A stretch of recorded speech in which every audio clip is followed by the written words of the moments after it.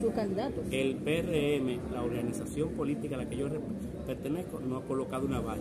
Si algún precandidato a senadora, a diputado, si algún movimiento lo ha hecho, no lo ha hecho nuestra organización Y política. la que dicen eh, eh, Luis cuatro años más, ¿quién la ha colocado? No, no he conocido una valla que Ah, se haya Está la colocado. ¿Usted no, capital no, llena. no camina por el Distrito Nacional? Pero L mire, 24. Mire, Porque hay en Mire. el Distrito Nacional muchas. mire, vuelvo a repetir.